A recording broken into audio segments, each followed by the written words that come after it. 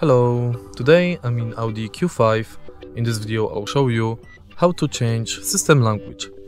In the beginning look at the screen display and go to settings. Enter language and select new language from the list. Then tap apply. If you find this video helpful, please leave like, comment and subscribe.